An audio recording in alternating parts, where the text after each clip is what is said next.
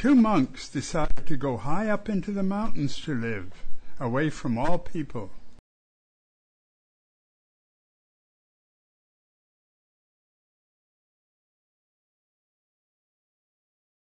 They found a cave high up in the mountains and decided to live there.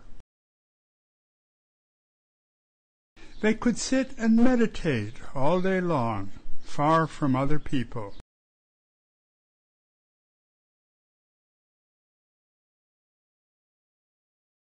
To be sure that everything was quiet, they decided to only speak on one day of the year.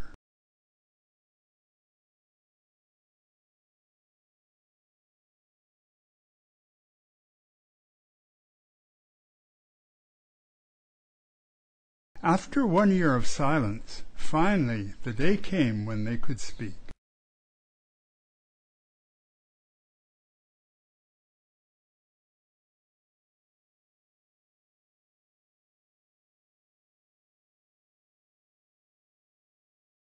You put too much salt in the porridge.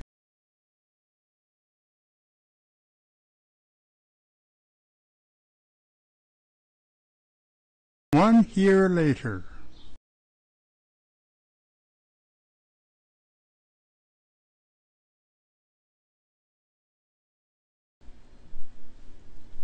All you ever do is complain.